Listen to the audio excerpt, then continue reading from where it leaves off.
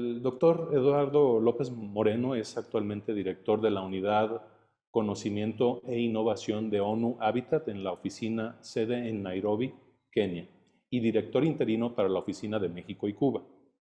Previamente fungió como jefe del Observatorio Mundial Urbano y consejero técnico superior en la Oficina para África y los Países Árabes de ONU Habitat.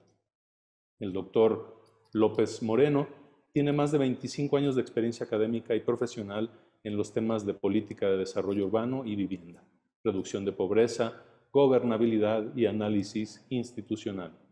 Sus estudios incluyen un doctorado en geografía urbana en la Universidad Sorbona en París, Francia, una maestría en sociología urbana por la Universidad de París, Saint-Denis, y orgullosamente, permítanme decir que cuenta con un certificado de estudios universitarios en arquitectura por la Universidad de Guadalajara. El doctor Eduardo López Moreno. Doctor, a nombre de los que integramos el Instituto Transdisciplinar en Literacidad, permítame expresar nuestro agradecimiento por acceder a compartir con nosotros su tiempo y experiencia en esta onceava semana académica dedicada a la urba literacidad. Lo dejamos en el uso de la palabra, doctor. Muchas gracias. Buenas tardes de Nairobi, Kenia empezar por decirles que eh, la COVID es una, es una crisis urbana. En diciembre de este año, cuando medimos el número de infección y muerte, 92% de los casos se dieron en ciudades. En la segunda y tercera ola se movió la pandemia a zonas rurales y a zonas eh, de, de habitabilidad secundaria, ciudades intermedias, pero seguirá siendo urbana porque ébola, H1N1 y otras pandemias nos muestran que las únicas respuestas podrán ser por la regionalización del urbano en las zonas rurales. Carlos Iván dijo algo que, que he mencionado en otras conferencias. Con esta pandemia, la forma en que actuamos, jugamos, descansamos, nos desplazamos, cambiará drásticamente. Pero también los instrumentos que se utilizan para responder a la crisis.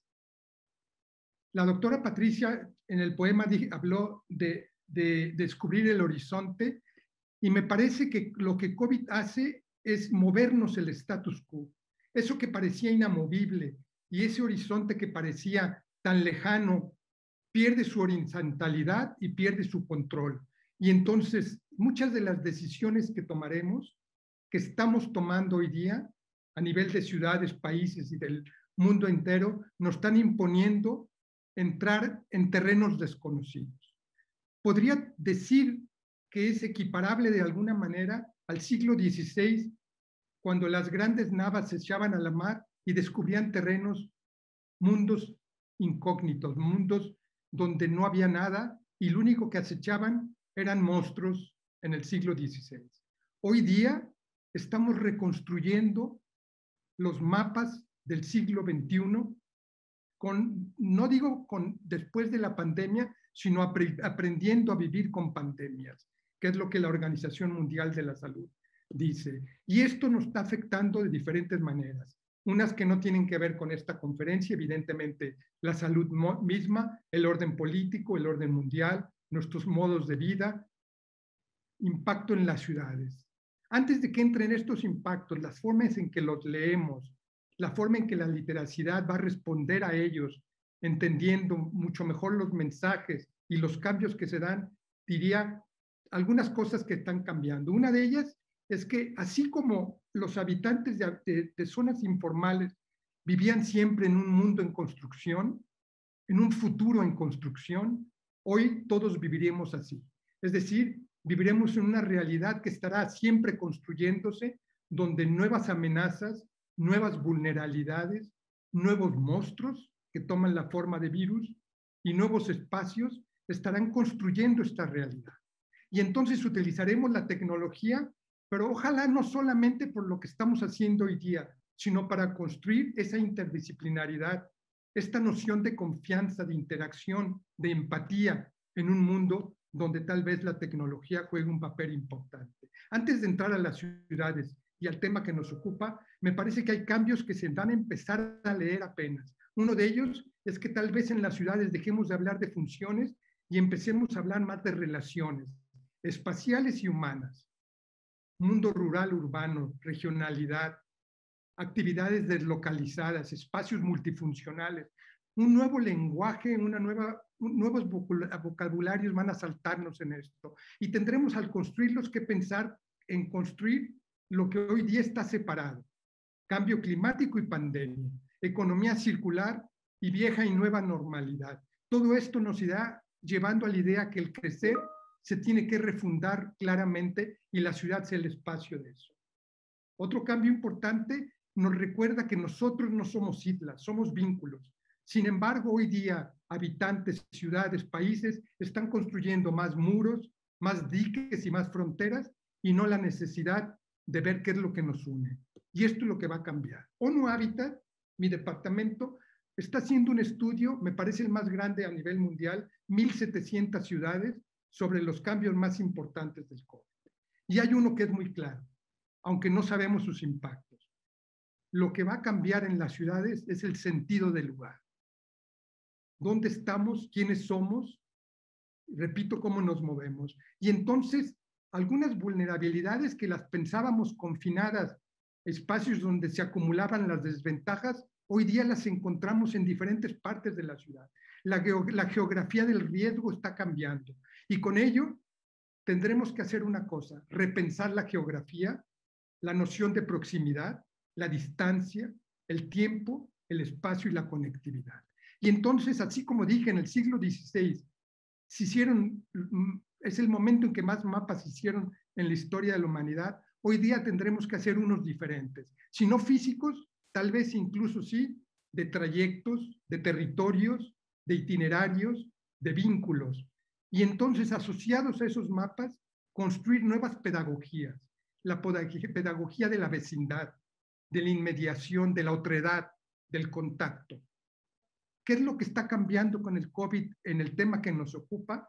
Son las reglas del entorno.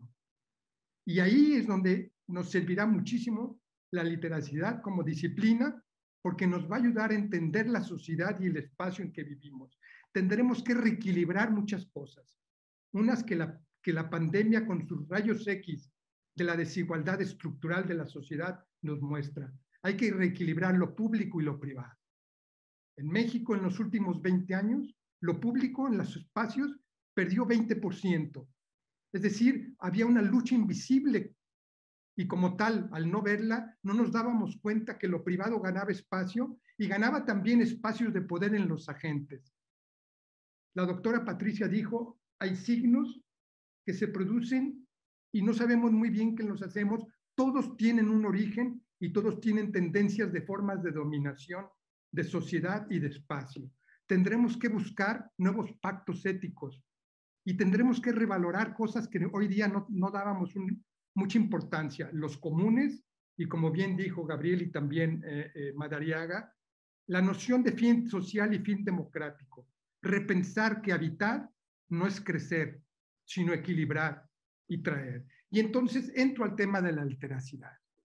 Este es un complejo, un tema muy complejo, muy dinámico y que tiende a ser reinterpretado. Pero algo que me queda muy claro, e incluso les, diría que el fin de semana leí una presentación de, de Patti Rosas y Tener Bravo que me encantó, eh, en donde eh, hace un tiempo hablaron de la importancia del texto, la escritura, la lectura, y algo que dijeron que estos no son independientes del contexto social.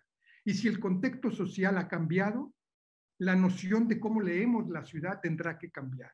¿Y cómo la cambiamos? Y entonces, hablaremos del tema que me, que me pidieron, de las mejoras urbanas, y empezaría por hablar del espacio. El espacio históricamente, dos mil años y tantos antes, Aristóteles lo veía solo, como un receptáculo, un lugar donde se tomaban decisiones. Hasta, hasta 1940-50 siguió siendo lo mismo. Los, los planos, las políticas, las acciones eran aespaciales. Fue solo en los 60, 70 y adelante cuando se empezó a construir la idea de que el espacio era contenido y forma y entonces un vector de cambio. Y como tal, tendríamos que leerlo e interpretarlo no en su función de receptáculo, sino en su función de transformación. Y esto nos llevaba a la idea de que el discurso y la acción y el propósito del espacio mismo nos llevaba a esta idea de su transformación.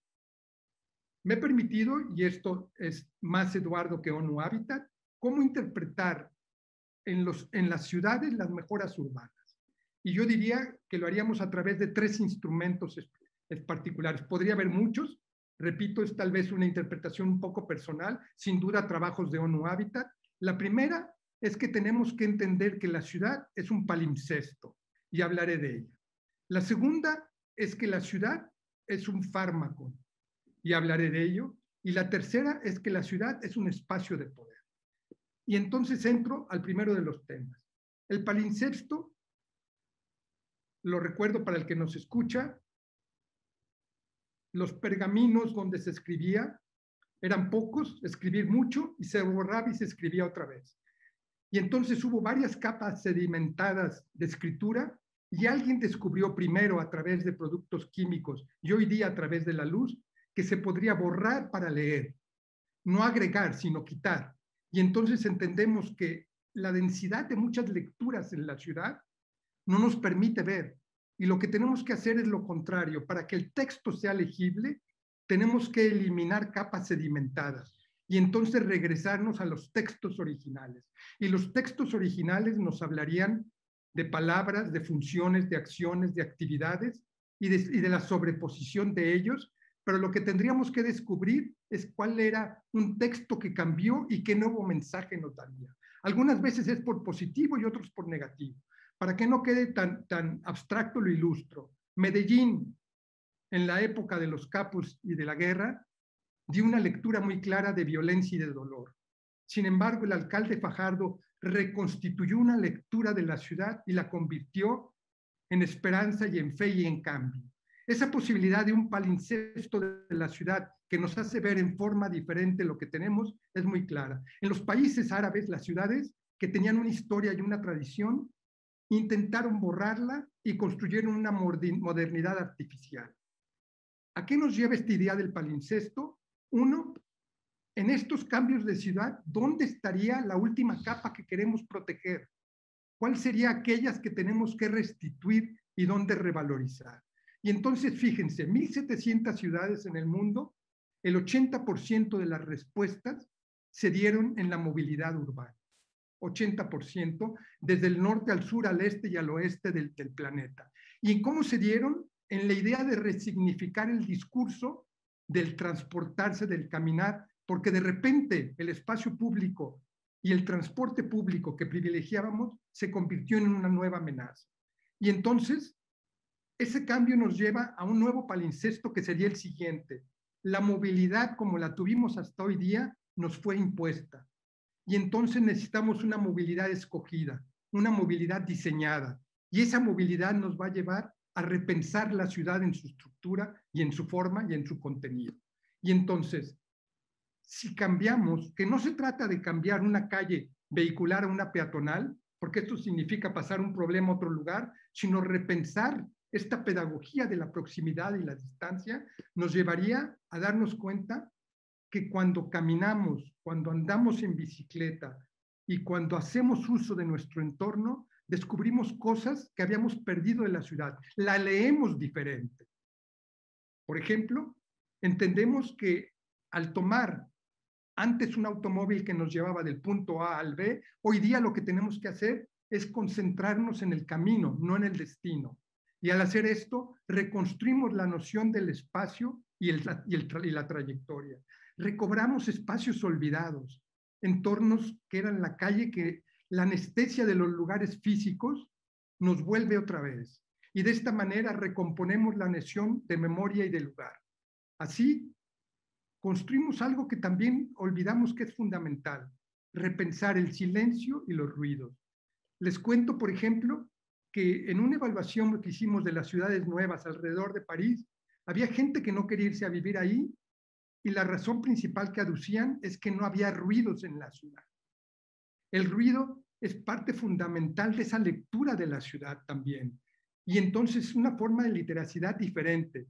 Tendríamos que pensar que nuestro cuerpo, nosotros, nuestra mente, tiene que revalorizar, revalorizar el entorno, liberarnos de lo que hemos tenido hasta ahora y ayudarnos a construir una nueva identidad.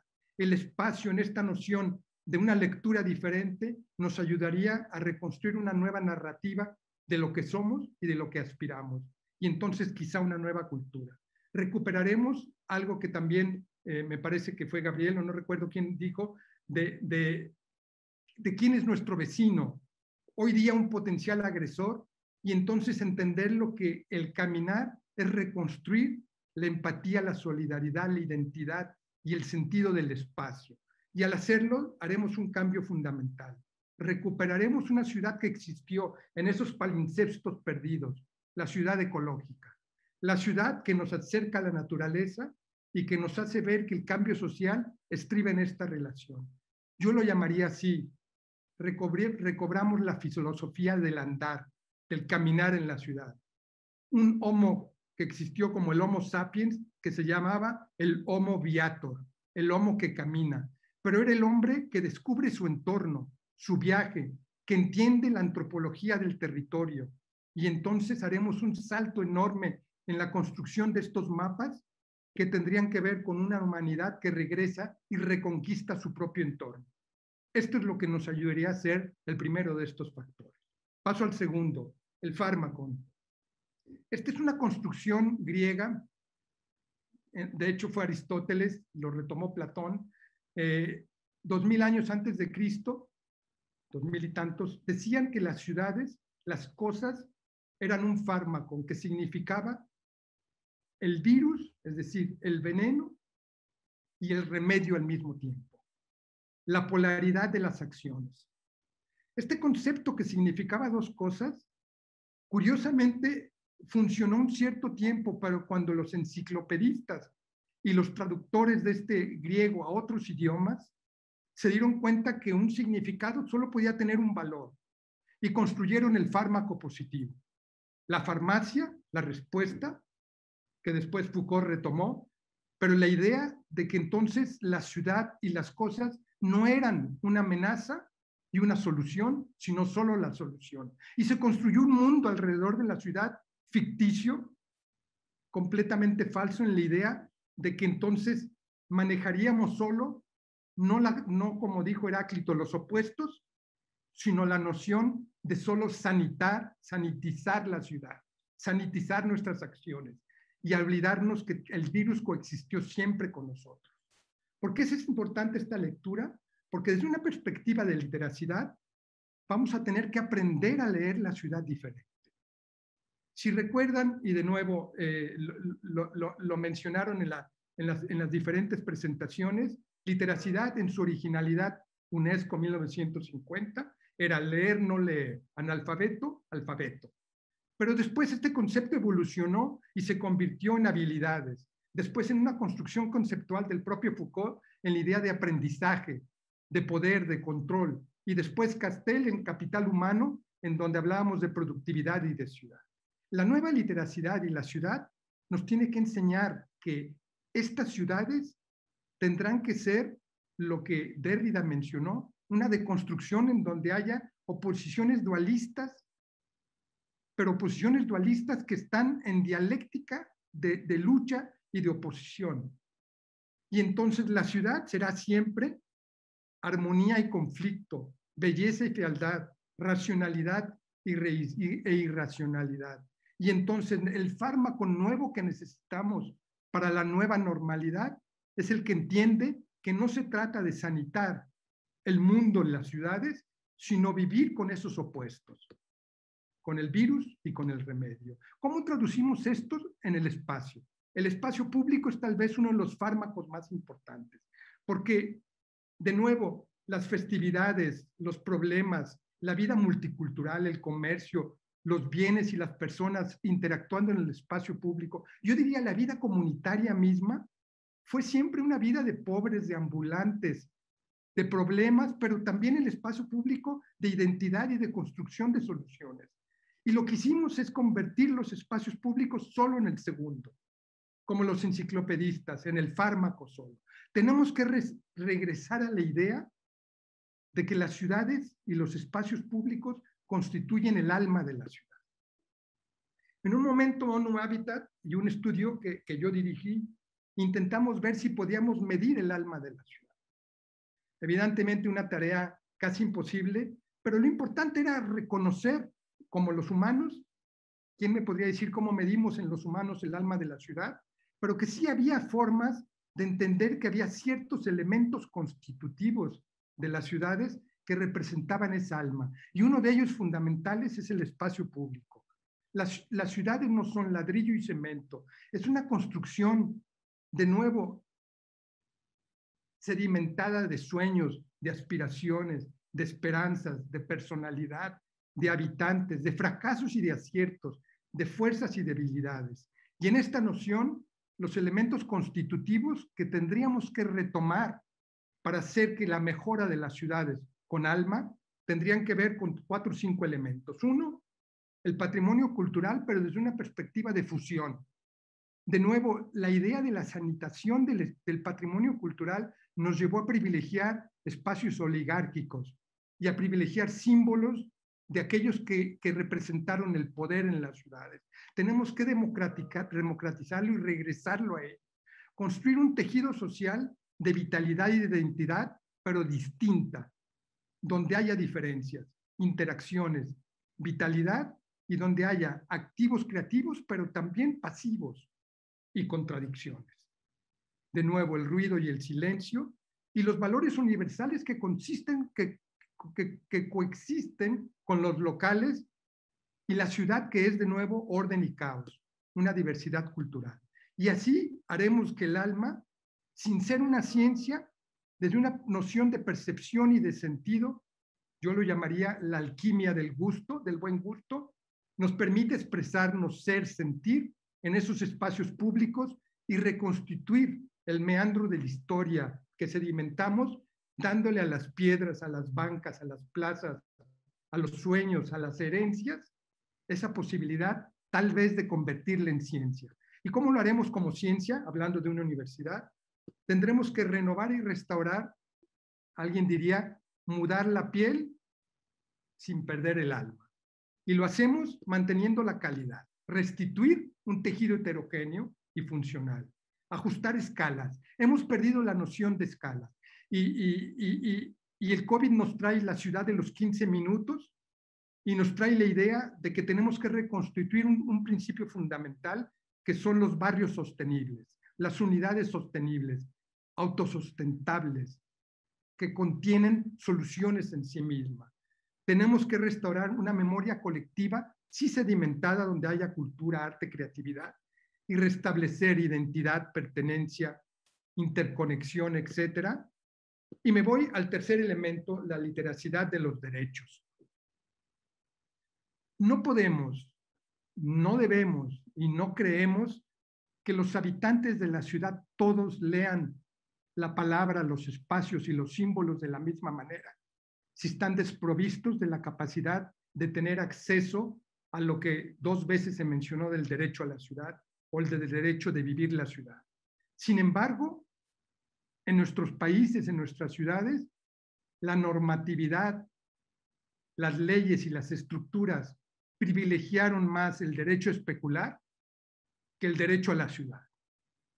Y entonces esto nos llevaba claramente a la idea que, como dijo Italo Calvino, las ciudades son como las, las palmas de la mano y podemos leerlas. Y saber que las ciudades fragmentadas, saber que las ciudades que tienen espacios físicos separados, desigualdades históricas, indio versus ciudad española, este versus oeste, que tienen calzadas independencias que separan, que han fomentado procesos de desigualdad social y de especulación inmobiliaria como Guadalajara y muchas otras ciudades, no permitirán, como dijo Castells, releer la ciudad desde la perspectiva de los derechos si esta fragmentación espacial, física, social y simbólica es lo que prevalece. Y eso es lo que ha habido en nuestras ciudades. La localización de desventajas concentradas en ciertas partes de la ciudad versus las ventajas concentradas en otras, también concentran los derechos y concentran el espacio público y concentran la posibilidad de entender la ciudad. Necesitamos respuestas incluyentes y ahí de nuevo el espacio público juega un papel fundamental, pero el espacio público entendido como un bien común, no privatizado. y los datos que lo producen también como un bien común, y la planeación urbana que lo diseña también como un bien común. Y así el espacio se convierte en su lectura, en su análisis, en su visión, en un espacio de aprendizaje. Habermas, la idea de la libertad. Foucault de nuevo, perder la noción de control y socializarla. El tianguis en el mercado y la noción mercantil del espacio y también la ágora política. Todos estos son los espacios que tenemos que restituir desde una noción de encuentro. Entender que también hay el vacío.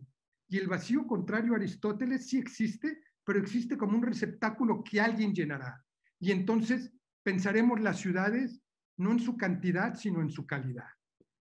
Una vida colectiva diferente, donde integremos, estructuremos, representemos y construyamos derechos. Y al hacerlo, construiremos colectividad y vida social y vida armónica.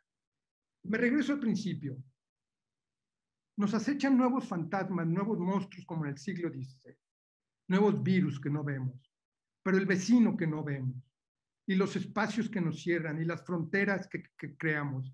Y entonces necesitamos hacer de la participación algo que en México no ha sido todavía, que es una concesión de Estado a un derecho humano viabilizado. ¿Cómo lo viabilizamos? ¿Cómo lo traducimos en soluciones donde propuestas simbólicas pero reales nos permitan repensar el espacio como una lectura en esta noción de literacidad de vinculación interinstitucional, donde no solo diseñemos el espacio, sino los instrumentos de su uso, de su apropiación, de su cambio.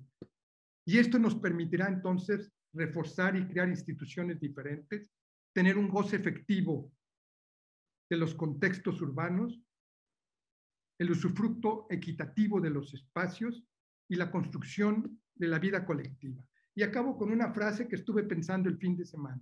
Para mí hoy día, en este contexto de COVID, la literacidad sería una nueva alfabetización de la nueva normalidad. Muchas gracias.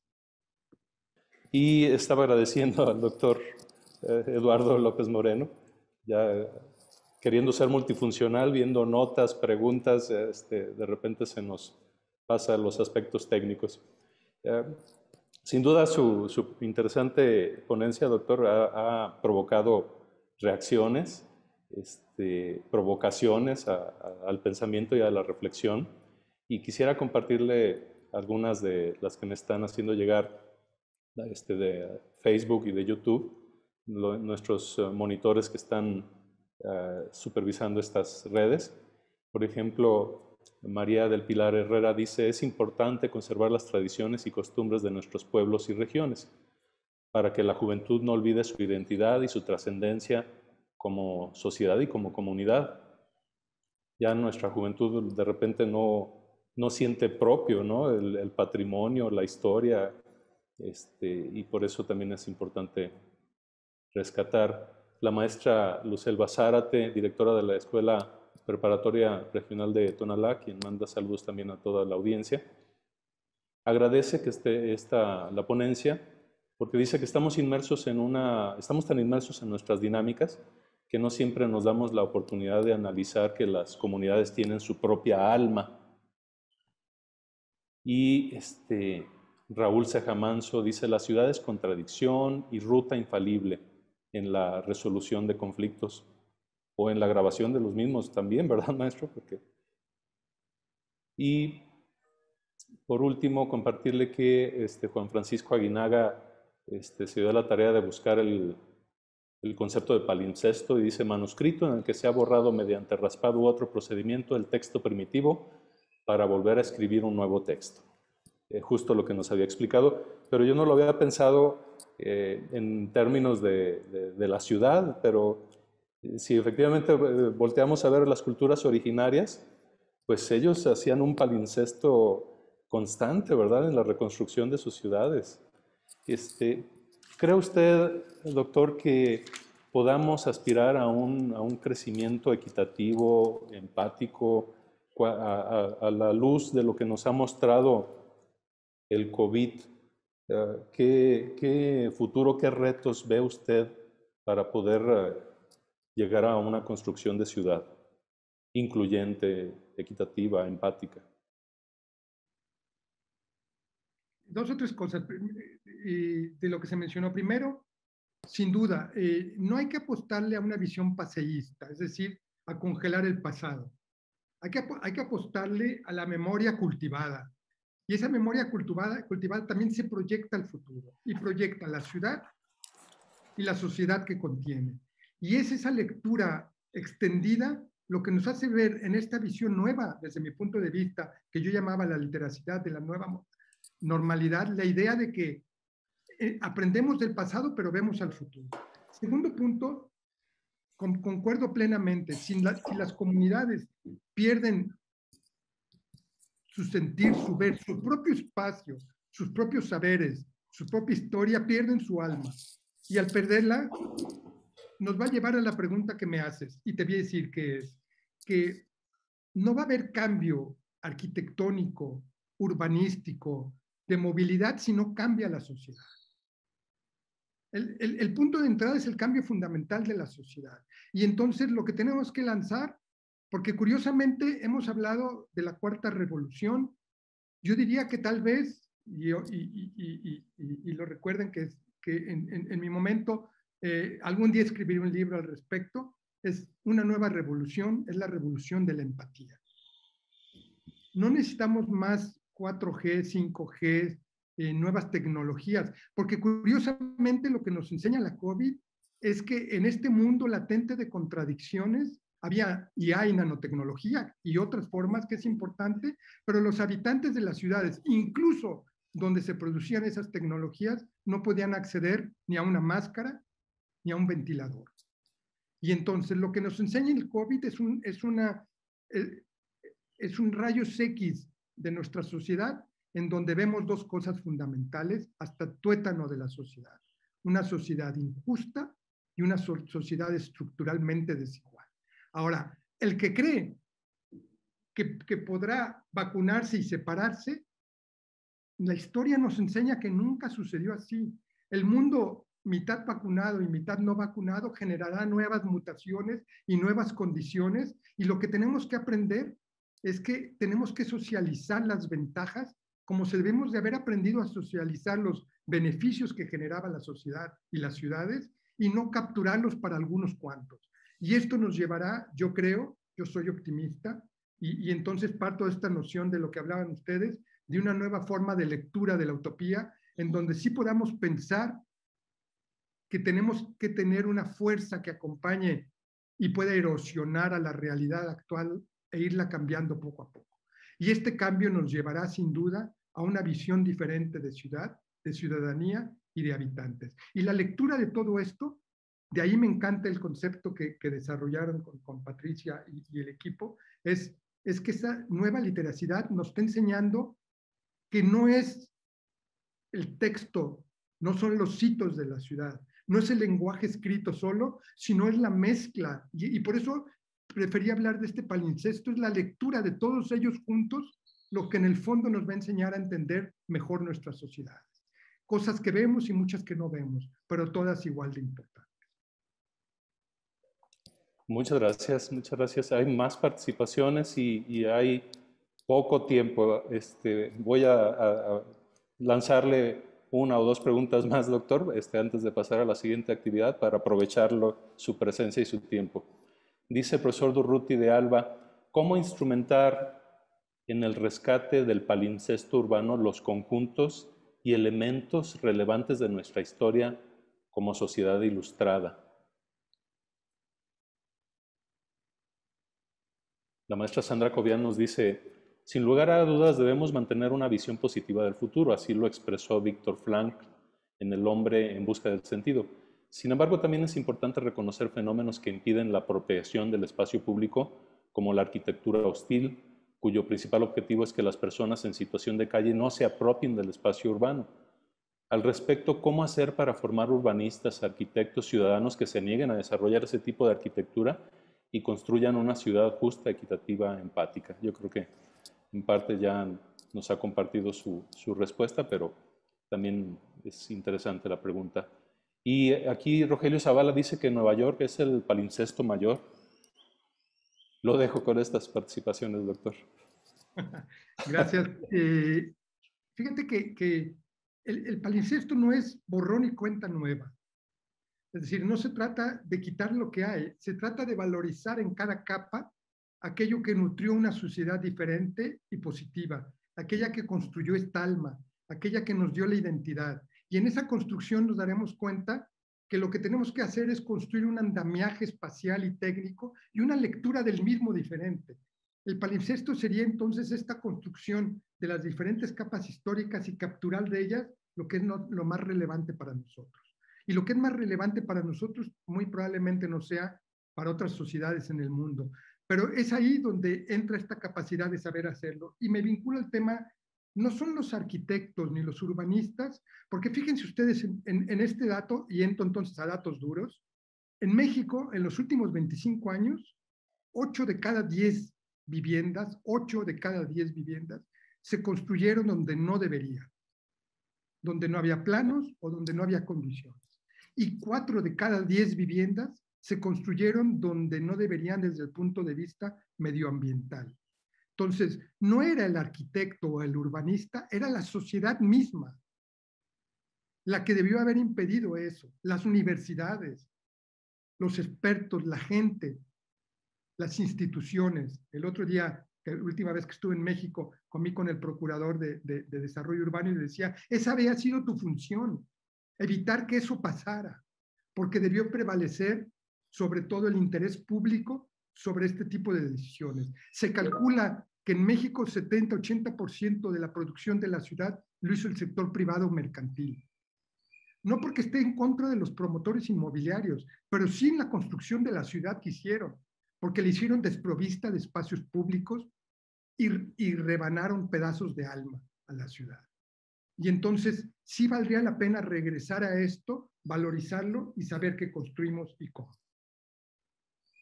Y, el asedio constante al que está sometido el espacio público, ¿no? desde los aspectos comerciales, la delincuencia, este, la falta de recursos, en fin.